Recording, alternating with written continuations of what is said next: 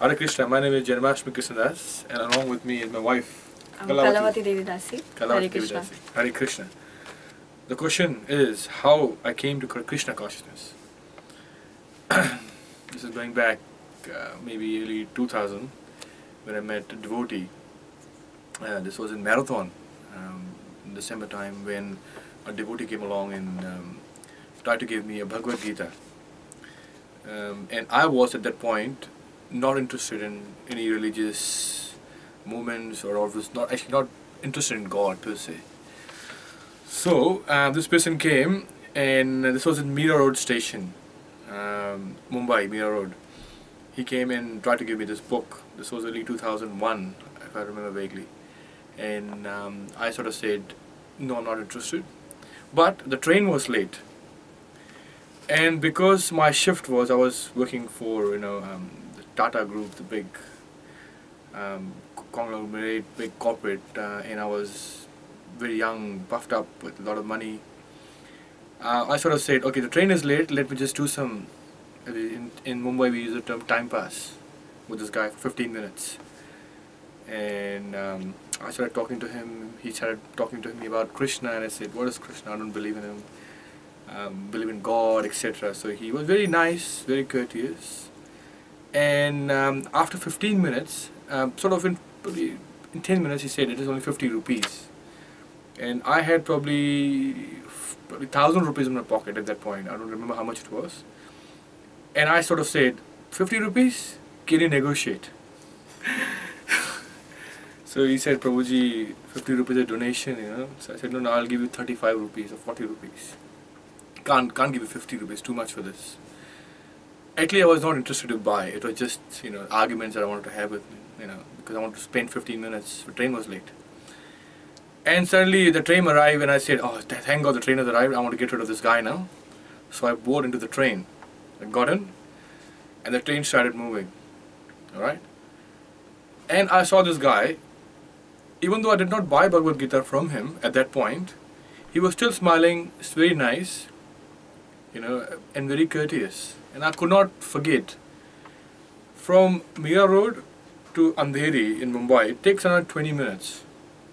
And those 20 minutes were the toughest 20 minutes of my life. I can still remember those. I kept thinking, what did this guy do wrong? You know, he's asking 50 rupees. This book, Bhagavad Gita, you know, it's a sacred book. I could have had it, kept it in my home, no issues. But because I just want, there's so much of puffed up, so much ego, so much arrogance I had, some of it we still have. um, at that point, I just said no for that. And I got down in Andheri station. Uh, and then I decided to come back. I thought maybe I should take a train back to Mira Road and meet that guy, give him 50 rupees and get the book back. But for some reason I thought my shift is there, can't be bothered, you know. I don't believe in this, carry on. So I got down, but I was still keeping, I still kept it in my mind thinking, oh my god, I should have actually bought that, you know. It wasn't a big deal, you know, 50 rupees. So I came out of Andheri station and I saw another guy, another brahmachari, you know, he had a Bhagavad Gita in his hand. I went and rushed, grabbed the book from his hand and gave 50 rupees. And he was a bit shocked, and I said, oh, what's wrong with this guy? He looked at me and said, oh, you know, uh, what are you after? I said, look, don't worry about it, no questions asked, 50 rupees, give me the book. Got that book, kept it, actually I read it. In probably four months, I went really hard, read the whole book, did not actually understand a word. So I closed the book, kept it. For two years, it was lying there in my house somewhere. And then when I was going to New Zealand in 2005, so it was two, three years, and it was just left, nothing, it was untouched. Uh, because I found it really, really hard to understand. At that point, I was not interested, but I was, I read it. Um, in 2005, and went to Hamilton in New Zealand to study, and um, I had this book. I thought might as well take it along with me. You know, my mother insisted, so I took it. So I kept kept that book in the hostel that I was, where I was living, and then suddenly one day I thought, probably I should open it and try give it another go. And uh, I opened it, read, started reading. Um, for some of the other reason, I, I remember vaguely. I, I started with chapter 12, Bhagavad Gita, in a Bhakti Yoga chapter, and that was very inspiring because you know um, that chapter is so um, you know, Krishna is so, you know, explaining those points which I was going through in my life. You know, at that point I was just confused about everything. Um, and questions been asked, and you know, that whether we should be talking about Krishna as a, to be interested in bhakti, etc. So, and then, um, again, I never associated with devotee before that. Temple was only a few kilometers away from me, never been there, probably once maybe, not interested. So, never actually been in contact with any devotees. But in Hamilton, I read their book, and then I came to um, I I met my wife Kalavati Devidasi at that point. Um, uh, you know, we were very new. Um, you know, trying to understand what's going on in a in a spiritual and material life. Uh, what was go- especially in material life, we were confused. Studying really young young couple, um, and we happened to go to one day Hamilton. Hamilton Temple. Yeah. What happened next? Oh, I was just like, I really f- used to feel nice about him because he used to read Bhagavad Gita so sincerely every day. And um, that's what I really liked about him. And he just, you know, one day asked me, uh, Would you like to go to the temple? Because we were just students and we had no money that time. and we, there was like some nice prasadam they used to serve every Saturday night. So I immediately said, Yes, you know, why not? I will come with you. So, so it was actually really for food. and and uh, we someone actually told one of our friends said that they make special puri and sabji. And we were there in, in New Zealand for six, seven years, six, seven months. By the time, five, Yeah. four, five months. And um, you know, we uh, because you know Hamilton is such a small town, we actually haven't tasted And we were away from our family, family as, family well. as well. So We just wanted to. wanted to try something. You know, again, Indian puri sabji was a big thing. So puri, wow, can't be better than this. You know. and halwa. and halwa as well. So we, we tried, we, we made a point, we went to the temple. And then what happened after that? We went with another friend of ours. Um, his name is Mahesh, and he just used to eat like you know he just used to eat so much. He had a bhima quality. He used to eat. And uh, the Prabhuji there, um, his name is Raghav Chaitanya Prabhu, and his family used to take really nice care of us. And he was just they were just like family to us, and we used to make fun of Mahesh all the time. And one day, uh, Raghav Chaitanya Prabhu, you know, after Gaura Aarti, he just said, "Why, why, why do you guys eat non-veg? You know, you should just leave it." And Mahesh started crying. And that was a turning point of our life. Because what happened was, until that point, we were coming and eating prasad, free food, but we had our own ways. Actually, what happened was, we used to go to temple on, the way, we had a Burger King.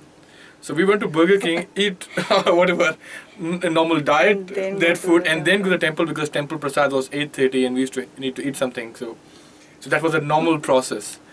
But then one day he made he made a really good comment. He said, um, "Why do you need to eat this?" And um, and I and sort of we said, "Okay." So I went to my fiance that time, um, and I said, um, "Should we stop eating non-vegetarian food?" uh, that Prabhuji actually opened Bhagavad Gita and said, these are the things you can offer to Krishna and non-veg, you can't offer non-veg to Krishna, so Mm, why do you right. eat this? Why do you eat that? Yeah. And he actually explained it so nicely that we felt he genuinely cares for us. Like he genuinely, you know, has, he has no other motive.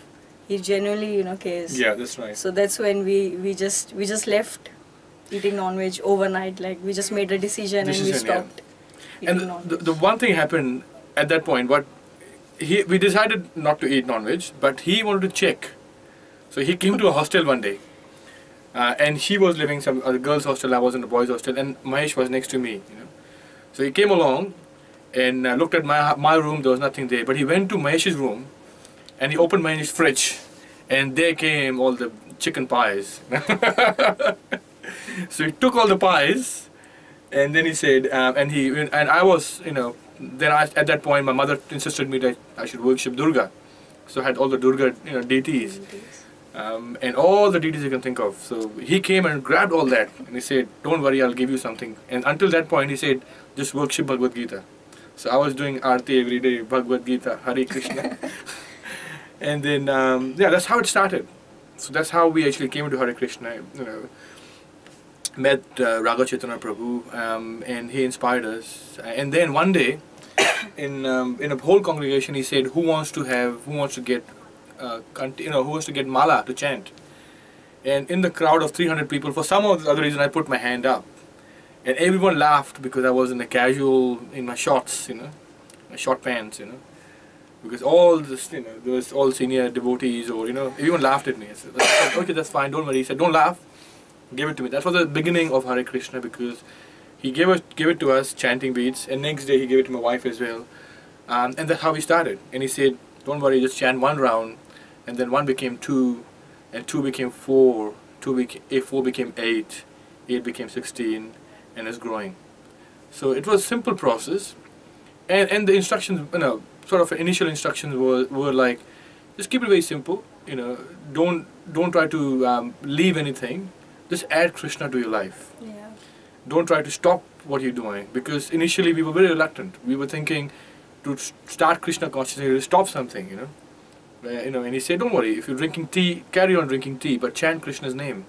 And slowly and gradually, by chanting Krishna's name, the tea was gone, the onion, garlic were gone, you know, there's intoxication, my friends were gone, people who were drinking or partying the whole night were gone. So slowly and gradually, life changed and things changed, but it took time. And and I think uh, what I've learned is how to be patient and with determination, and right guidance and support, you can you can actually take Krishna consciousness very seriously. And we're still trying to serve a Guru Maharaj. So in, in 2009 we met a Guru Maharaj by Krishna's mercy and, and we got initiation. Um, and before that there was also senior devotee, uh, His Grace um, um, Amresh Prabhu from uh, Weekend um, Auckland. He also trained us very nicely and took care of us.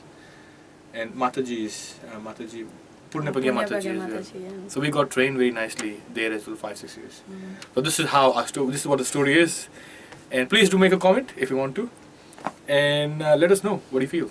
I Hare just want to, I just want to thank um, Mira Road devotees as, as well. Yes. to give us this nice opportunity.